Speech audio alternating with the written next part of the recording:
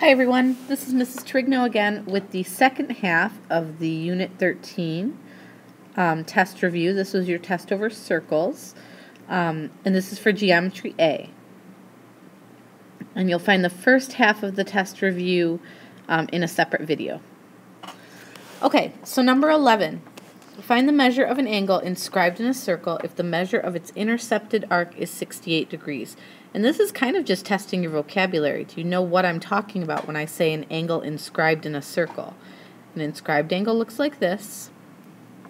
And when I say that the intercepted arc is 68, that means that this part of the circle from here to here is 68 degrees. And I'm looking for the measure of the angle. Remember the angle in these situations, the angle is always half of the arc. So I just need to take that 68 and cut it in half.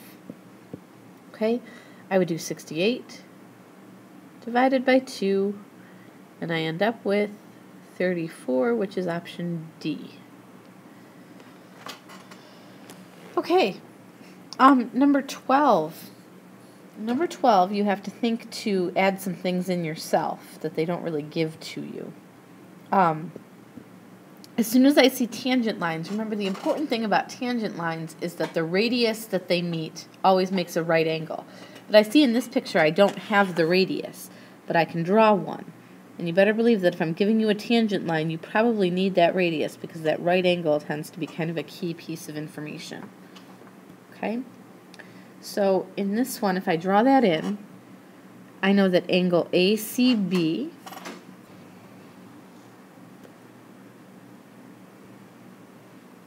So ACB is 84.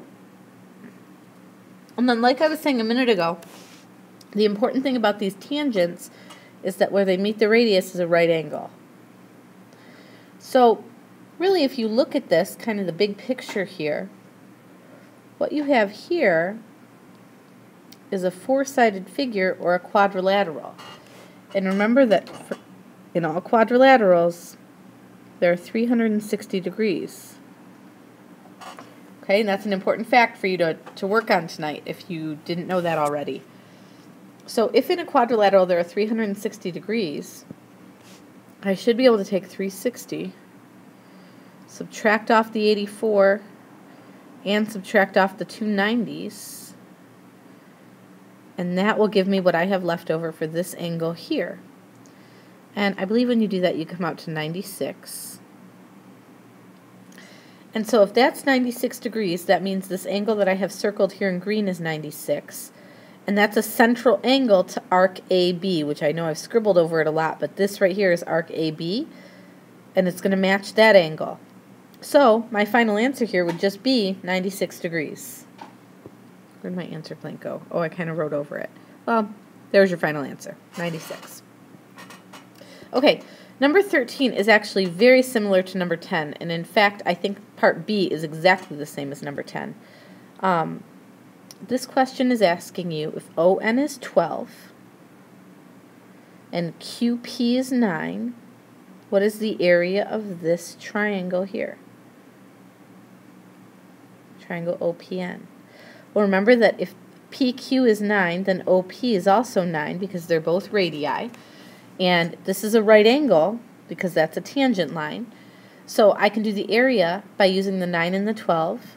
An area of a triangle is 1 half base times height, which are the 9 and the 12. And let's see, that's going to be 54, I believe. Yep, so it would be 54 square units. Okay. For part B, see what I can get rid of here. for part B, it gives me that angle QNO is 74. So this is 74. And I know this line right here is splitting that right in half. So then half of 74 would be 39. So each of these little pieces are 39.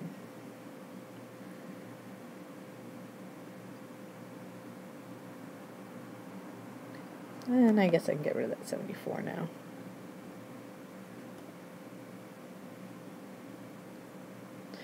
Okay, and I know again that these are right angles. Okay, I keep coming back to that. And then I want the measure of arc OR. So really what I need is this little angle right here because that's the central angle that's going to match that arc OR. And this is a triangle which has 180 degrees. Okay, so I can calculate this by doing 180 minus the 39. I'm sorry, half of 74 is not 39. Half of 74 is 37. That's what I meant there. Going too fast for my own good. So 180 minus the 90 and minus the 37 comes out with 53 degrees. And so that means that central angle is 53, which means the arc here is also 53 degrees. And then C I told you you could skip. Okay, let's take a look at 14. 14 is probably something that instinctively you'll know right away, but you'll have a really hard time explaining it. So here's what we know. I'm going to mark what we know in green. So we know that EHF and EGD match each other. So EHF would be this angle, and EGD match. Okay? And what I want to know is why, I'm going to mark what we want to know in red, why does DHE, which is this one, match EHF, which is this one? Well, here's what I would see. This first angle, the EGD, that angle intercepts this arc. Okay? And that second angle, the EHF, intercepts this arc. So I know that this arc and this arc are equal to one another. sorry, that's getting kind of messy. Well, this angle then intercepts that same arc. And this other red angle that's kind of buried intercepts this arc. So those two angles, even though they're different angles, they intercept the same two arcs. So here's what my response would look like, something similar to this. First, I would start off by saying that arc DE and arc EF are congruent because their inscribed angles are congruent. So that was our conclusion that we made when we said that this arc and this arc were equal to each other.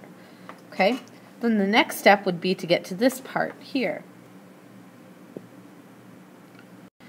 Okay, then I would say something to the effect of the angles, which is what you were trying to find in the first place. Remember, this was your ultimate goal right here. Um, the angles that you were trying to show were congruent are congruent because they intercept those two congruent arcs. So they match up with two arcs that we've already shown to be congruent. Okay, on to the back. 15 and 16 are really using the same type of picture. So I'm going to draw just one picture that will kind of go with both of them, and then we'll come back and talk about 17. So the circle here is that we've got a circle O, which means the center point is O. And then we've got AB and AC that are tangents. And if both of those segments have an A in them, that, that means that A is this point here that they share. And then B and C, it says, are my points of tangency. So B is the point here, and C is the point down here. Okay? And I want to know which of these is not true. And I'm looking at number 15. Well, and like I said, the first thing I would do as soon as I see tangent lines is I would draw in the radii. Because I know that those radii have to make a right angle. Okay? That's information I definitely know. So then it wants to know which one is not true. Does angle BAC equal 90? Well, from B to A to C, that's not marked as 90. Let's see. And I just want to make sure I drew my picture correctly. Yeah, I would say your answer here should actually be part A. Or option A. But let's check through the rest of our options just to make sure. Triangle AOC is congruent to triangle AOB. So for that, I would have to draw this middle segment in to make my two triangles. Here's triangle AOC. Here's triangle AOB. Are those two triangles congruent? We've talked about this a lot in class, and the answer is yes, they are. And you can get that because we have that related theorem that means that this segment and this segment are congruent. We know these two are congruent because they're both radii, and then we've got right angles here and here. Okay, so those triangles are congruent by side angle side. So B is definitely true. Then it says, is angle BOA equal to angle COA? So BOA is this angle here. COA is this angle. Would those two be congruent? Well, yes, because we already showed that these two triangles are congruent. So by CPCF, all of their pieces would be equal too. So C is true. And then D, angle OAB would be congruent to OAC. That's the same type of thing. It's just talking about these angles now. But again, by CPCF, if I already know those triangles are congruent, then these two angles would have to be equal. So the right answer there is option A. Okay. I actually don't like that we gave that to you on the first try because I wanted you to think about all those other ones too. Okay, 16 is going to use this same picture, but I'm going to get rid of some of the stuff here. Let's get rid of this line down the middle.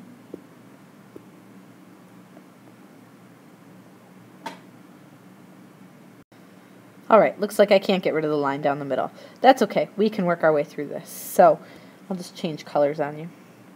Um, it's asking me if triangle BAC is isosceles. So that means I want to draw a line connecting B to C directly. And triangle BAC would be this triangle right here. Is that isosceles? Well, isosceles means it would have to have two congruent sides. And we do know that this side and this side are congruent because we have that theorem that says that if they share a common endpoint, they would be congruent up to their point of tangency. So these two sides are congruent to one another. So this is an isosceles triangle. That is true. B, A, B, O, C is a kite. So from A to B to O to C, is that a kite? Well, let's remember what a kite is. Okay, a kite is a quadrilateral that has two sides where two consecutive sides are congruent. Looks something like this. So these two would be equal and these two would be equal. Is that what we have going on here? It absolutely is. Um, because, as we said a second ago, we already know these two are equal. And then over here, if I were to look at these two sides, which would be the top of my kite, these two would have to be equal because they're both radii of the circle. So B is also true. What about C? ABOC is a parallelogram. No, that's not true. These sides are not parallel to one another. And in fact, we talked when we did quadrilaterals about how kites are not a type of parallelogram. So, letter C is the one that's not true. And D just wants to know is triangle BOC isosceles. So now that's looking at this triangle. I'm really going to mess it up now. Okay, but this triangle from B to O to C, would that be isosceles? And that absolutely would because your radii are congruent to each other. Okay, so letter C is your choice there. Okay, and now let's look at 17. 17 says, um, in the figure, it tells us that PQRS is a rectangle, and angle QPR is 60, and PR is 18. State as many additional facts as you can. Oh my goodness, there's going to be a lot of them. Let me figure out a way to get some space here. Okay, now we're just looking at the figure itself, and actually I might even make that a little bit bigger. Okay, and we're just trying to name as much stuff about this figure as we can. So, and I believe it gave me in the problem, let me take a look here, that QPR is 60. So I know that QPR, whoops, that this here is 60. And I know that this length here is 18. And I think that was everything it gave me. Oh, and that it's a rectangle. Well, let's think about what a rectangle is. A rectangle is a quadrilateral with um, four right angles is the technical definition. So right there we can start listing what our right angles are. I would say that angle Q, angle QRS, angle S, and angle SPQ are all 90 degree angles. And you could justify that two ways. Um, one way is you know that it's, well, at least for angles S and Q, you know it would have to be a right angle because it's inscribed inside this semicircle. This line here cuts that in half. So inscribed inside a semicircle, a semicircle is 180. If you cut that in half, you would get 90. But you also know it just based on the definition of a rectangle. So either one of those justifications would be okay. So if I know this is 90, and I know this is 90, and this up here is 60, then what would these angles have to be? Well, and technically I know this one is 60 as well, but we'll get into why that is in just a minute. But if you add these together and subtract from 180, you've got a 60 and a 90, so what's left down here is a 30. So I could say that angle QRP and angle, see, RPS equal 30, because you know there has to be 180 degrees in a triangle. Um, by the way, the reason that I know this one down here is 60, and there are probably a couple different ways you could justify this as well, but I know it's 60 because I know that in a rectangle these sides are parallel and this is a transversal. So this angle and this angle are alternate interior angles, so those are both 60. Really what we have here are um, 30, 60, 90 triangles. So let's see how much we can remember from that. And 18 is the length of our hypotenuse in that 30, 60, 90 triangle. And if you think back to 30, 60, 90s, this was the layout. It's x, 2x, and x square root of 3. So this 18 is in the 2x position. Okay? Which means we would know x, which is SR, would be half of that, which is 9. Okay, so let's write that down. SR. And then because this is a rectangle, we would also know that the top one, QP, would be 9. Okay? And then x square root of 3, that would be these sides here, so PS. And QR would be 9 square root of 3. Okay, getting real technical on you there. Let's see if we can get the measure of some of these arcs. If we know that this down here is 30 degrees, and this intercepts this arc from Q to P, okay, if this is 30, to get from the angle out to the arc, I would have to double it, so I would know this is 60. So I could say that arc QP is 60 degrees. Okay. And similarly down here, this would have to be 30, and that intercepts arc SR. So that would have to be 30 degrees. No, just kidding. Sorry. What did we just say? If this angle, if this angle is 30, then this is the inscribed angle, and the arc would be double that. So arc SR would have to be 60 degrees. Sorry about that. Um, and we could do the same thing over on the sides here. We could say if this is a 60 degree angle, then this angle intercepts the arc from R to Q.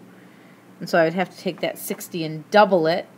And so my arc QR would be double that 160, which is 120. And same thing over here. This arc RS would go with this 60 degree angle here. So you've got 60 here with this arc. So arc, is that PS? Arc PS would have to be 120. See, is there anything else we could possibly squeeze out of this one? I don't really think so until we started like adding together arcs and things like that. I mean, I guess we could say that arc PR is 180, but I would hope that just from the information given you'd be able to gather that. So I'm going to say that this list here is good. Okay, I will be here early tomorrow morning, probably um, between 7:15 and 7:30. So if you do have any questions before we take the test, you are welcome to come in. You're also welcome to email me tonight with any questions that you have. Good luck.